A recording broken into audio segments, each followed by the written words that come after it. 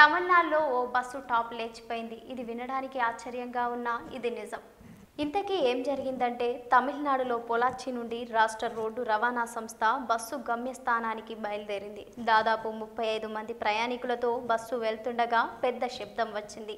ఏం జరిగిందో అని కంగారు పడిన డ్రైవర్ ఒక్కసారిగా బస్సును రోడ్డు పక్కన ఆపేసి కిందికి దిగి చూశాడు. బస్సు టాప్ రేఖలా ఏకంగా ఊడిపడడంతో ఆశ్చర్యపోయాడు. పెద్ద ప్రమాదమే తప్పిందనుకుని ఊపిరి పీల్చుకున్నారు ప్రయాణికులు.